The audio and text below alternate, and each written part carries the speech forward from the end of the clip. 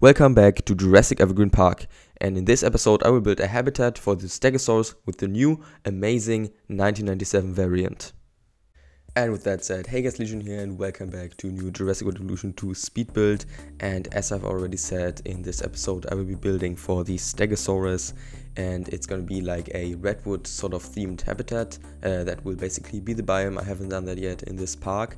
And this also uh, this plaza that we will be building uh, in this speed build will sort of be a little area um, with more of those habitats with the redwood biome um, because we also have a tour in this actual habitat and on the right side currently of the tour is this habitat and on the left side I'm going to build another exhibit in the next episode. And basically the tour will then go th uh, through two habitats with the same biome and same theme. And um, I don't know I might add another third habitat with that theme uh, also going through um, with the tour. But first I have to talk with you about something quite tragic that happened to me with this build, with this whole park and I haven't actually told you guys that I was I, I, was planning on doing a community post but I just but I just end up not doing it and I want to talk about this in this episode and that is that I accidentally overwrote the save file for this park. Um, but as you can see I'm back uh, building in the park and it actually happened to me um, before uh, even uploading the previous episode um, losing that save file. But I already had a backup save file um, usually I always have backup save files for my parks where, and always when I save them I save in both of those files and then I have two files so if I overwrite one I will still have another file and I can just continue building like nothing ever happened. But the problem is with this that um, I forgot to keep doing that and basically I had one backup save file that was quite a bit older uh, than the regular um, save file I was building in and that basically meant I was reset with quite a, like I lost quite a lot of process in this whole park, um, that basically being the Alamosaurus and Pentaceratops habitat from the first episode and the Pyroraptor habitat. So I had to rebuild all of that, um, also the restaurant. Um, so that was what I did in between episodes. So also there's not going to be a part where I show you what I did in between episodes because I just rebuilt the park. Basically uh, now at this point I have rebuilt most of the path uh, all of the infrastructure, uh, some of the buildings, and the habitats um, are uh, there, like the fencing is there, but they are just empty and I still need to uh, fill those in in my free time. But uh, for now I just focused on doing this speed build right here but you know you learn from mistakes and something wasn't a mistake if you learn something from it i guess. Um, i mean i already learned from the mistakes of others actually uh, that to have a backup file and i always had that but this is just maybe for a reminder of you guys as well. If you're building a park always have a backup save file. Because what happened was just that I was starting a new little park build because I wanted to have something to build when I'm not doing a YouTube episode. And then when saving it I just you know uh, out of a reflex because I have built only on this park for such a long time. Um, no, not such a long time, but for a longer time, just out of reflex, I um, saved in that save file and it happened.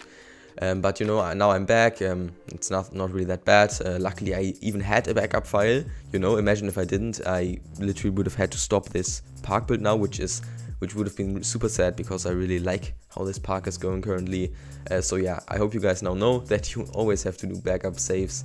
And yeah, I'm also gonna be doing that from now on with this park.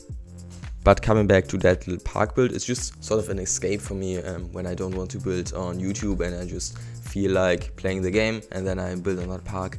So it's progressing quite slowly, but maybe one day I will do a tour of it when, once it's finished, which will take some time, but once it's finished I'll probably do a tour of it. Uh, just like with my tropical park, I still have to record that tour. It's sort of like a task looming in the background for me because um, it's I think it's gonna be quite a lot of editing to do um, but but I'll do it eventually. Um, probably this month. Probably the next video will be that. Maybe I don't know yet. Um, we're gonna see. Um, but for now, uh, just I'm just happy that I uh, managed to rebuild my park like that. I also tried recovering it, uh, the safer in Steam Cloud, but that didn't work because there was just weirdly enough no save of it. But yeah. But now after all that I can finally come back to the actual build right now uh, we're doing, what, which is supposed to be the focus on the video and no sad news like that, like me losing the save file. Um, so A little special thing about this is a path art basically. It's already in the thumbnail, the path art. I did like some sort of flower and that was, I would say, probably inspired by the path art submissions from Evolution Square's Battle of the Builders and that Discord. You know, I looked through some of that stuff and I found like some flower things, some things and I just had the idea and I really just went from there and uh, sort of created some design of my own and you can see that right there then later I decorated it with quite some uh, fountains. Some of those fountains I had like, have like the four uh, water jets I think in the middle uh, that like go up and I think that makes the whole pattern look a lot better. It's not really that crazy or anything. It's just like three uh, leaves or something like that and uh, they sort of make a really simple shape and then I have like a circle at the top. It's really a simple design but I think uh, you guys, if you want to do like some path art in your parks and you've never done that before, uh, that's just a really simple design for you to emulate.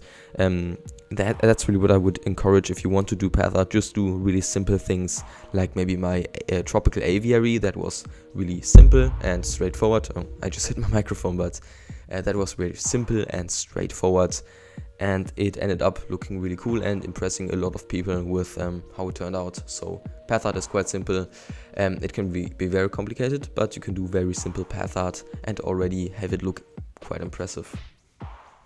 Also what I alluded to in the thumbnail is um, the Stegosaurus variant, that being the best variant in the game and I think that holds true the old um, Stegosaurus variant, the from one from Jurassic World that we got in the game before and that we had to deal with, with, with for a long time. Of course we had that one 1997 skin from the Lost World, but that wasn't really um, you know it wasn't really a model. It was just like one skin and that didn't really like look that good with the pattern. And now we have some awesome patterns and skins for that model and this makes the stego a lot better. Um, on my current ranking it's this, my second favorite um, herbivore in the game uh, coming after the Dreadnoughtus and of course I don't count the Deinocheirus as a herbivore in that ranking I count it as an omnivore but um, if you count it as an herbivore as a herbivore which I would probably do rather than calling uh, it a piscivore, uh, then it would be third, of course, because the Deinocheirus is just so good. Um, yeah, I think the best variant in the game should go to this one maybe. Um, but I think there's one variant that might actually be better or probably is better and that is the Pteranodon variant we also got in the previous update because the Jurassic World Pteranodon just looks so horrible. Uh, the Jurassic World Stegosaurus looks fine, it just has this weird, uh, like the skeleton, skeleton crew described it, uh, crispy looking skin. It doesn't have like, like it has a weird mouth and weird eyes and everything, but uh, the Jurassic World Pteranodon is absolutely horrible. And now that we have that variant, I think my next every aviary build will include the Pteranodon because now it actually looks good and I will actually be using it uh, because before I just didn't. I hated that Jurassic World variant and the only time I ever used it was with the Jurassic Park one. But I think while we're on the topic of um, aviary creatures as well uh, already, I think I can talk about something uh, there, and that is the new creatures we could potentially get in some future DLCs with that, because it looks like we're just gonna be getting uh, some dinosaur packs from now on, and maybe we're gonna get one expansion for like uh, Chaos Theory or for the new Jurassic World movie, which has been announced. If you didn't see that, check out someone's video, maybe Evolution Square or Best in Slots. Um, but um, either we're gonna get a, an expansion for that or a new game, which is something I'm not really sure about if we're gonna get that. Um, but I'm not gonna talk about that now. I'm gonna talk about future DLCs, and that one of those um, would be uh, maybe flying species. Um, people are thinking like that we're gonna maybe get a flying species pack, which I think is an interesting take. I personally don't think we're gonna get one because we don't need that many flying species. I think we mostly need like a Microraptor and Archaeopteryx, something like that. We need a Hatzegopteryx probably. And we could also get like other azhdarchids like an Alanqa or something. And uh, a Rhamphorhynchus is probably request is also requested by the community. And some other um, pterosaurs I think similar to Dimorphodon could also be introduced in the game. And I think there could be an aviary DLC but I think the most important thing is to get uh, for us to get smaller aviaries, um, pretty like small bird cage looking things where we can put the small um, creatures in. For example, the uh, tiny Dimorphodon, uh, the fuzzy one from the Malta expansion, as well as the Jeholopterus and a future Archaeopteryx and Microraptor because those just wouldn't fit in the huge aviary. And maybe we could even get like a big placeable uh, aviary similar to the one in Jurassic World. I've seen that suggested before by someone. Um, I think that would be really cool. uh, having that one to be placed down because it would be nice for the big end star because they wouldn't look awkward and of course walking animations as well for them because you know um, and star flying around all the time it just looks weird they need to walk so yeah, um, I've rambled now quite uh, along for quite a, some time about the aviary creatures, even though that's not really the focus of the video. Um, but anyways, um, the habitat I think it turned out quite nicely. I before didn't really have any idea what to do um, in this area. I just uh, knew I wanted to do a herbivore habitat um, and that I wanted to do a plaza, of course, uh, some kind of plaza design, and then sort of I had the idea for the path art, and that just made it come together as well as the idea for the tour, and I finished that. Also, um, in front of the tour, I added some rock gardens um, in between, you know, after the recording because that's boring and you know, but you're gonna see that in cinematics. Uh, anyways, um, speaking of the cinematics, I hope you guys enjoyed them, and also I hope you guys enjoyed the speed build and video. And so see you guys next one. Bye bye, and leave a comment, everything, subscribe, um, like, you know how it is. Bye bye.